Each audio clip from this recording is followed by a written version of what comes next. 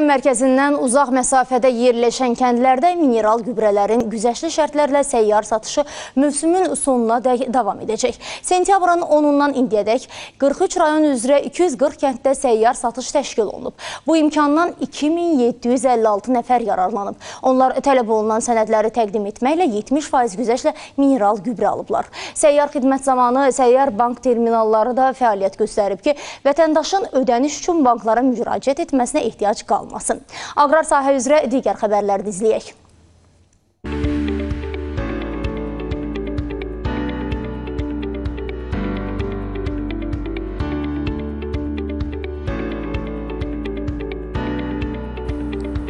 Sitrusçuluq Astara rayonu üçün iqtisadiyyatın ən gəlirli sahələrindən biridir. Rayonda sitrusçuluq və subtropik meyvə istehsalı ilə əsasən Kijava qəsəbəsinin eləcə də Şüvi, Siyəkü və Səcərəli ərazi kəndlərinə aid kəndlərin sakinləri məşğul olurlar. Bu il həmin kəndlərdə 353 hektara yaxın yeni naringi bağları salınıb. Bir neçə gündür meyvə yığımına da başlanılıb. Hələlik yalnız naringinin tez yetişən Karli növü yığılır. Kütləvi məhsul yığımına isə noyabr ayında başlanılacaq.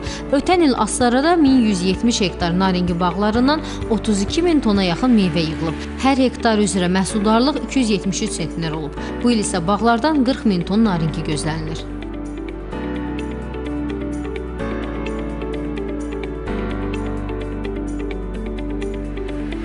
Qəbələ rayonunun təsərrüfatlarında şəkər çuğunduru yığımına başlanılıb. Torpaq mülkiyyətçiləri bu il 192 hektar sahədə şəkər çuğunduru əkiblər. Bu da ötən ilə müqayisədə 2,1 dəfə çoxdur. Fermerlər bu günə qədər sahələrdən 140 ton şəkər çuğunduru yığıblar. İstehsal edilən məhsul İmişli şəkər zavoduna göndərilir. Xatırladaq ki, ötən il Qəbəlilə fermerlər 92 hektar sahədə şəkər çuğunduru becərib. 1875 ton məhsul əldə ediblər. Hər hektardan orta hesabla 203,8 sentner məhsul götürülüb.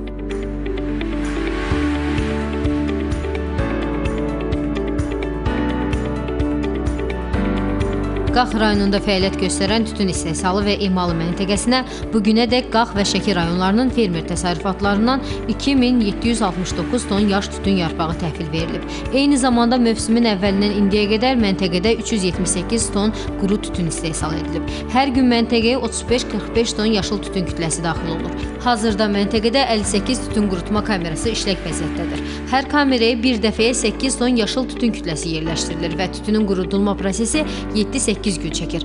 Rayonda tütün yığımı davam edir. Lalə Quliyeva xəbərlər.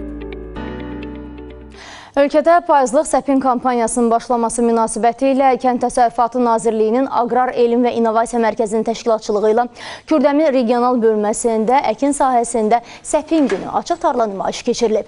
Bölgə fermerlərinin aqrar sahə üzrə şirkət nümayəndələri və digər istehsalçıların iştirak etdikləri tədbirin təşkilində məqsəd istehsalçıları və əlaqədar təşkilat nümayəndələrini səpin texnologiyaları sahəsində ən son innovasiyalarla tanış etməkdən yeniliklərin təbliğindən ibarətdir.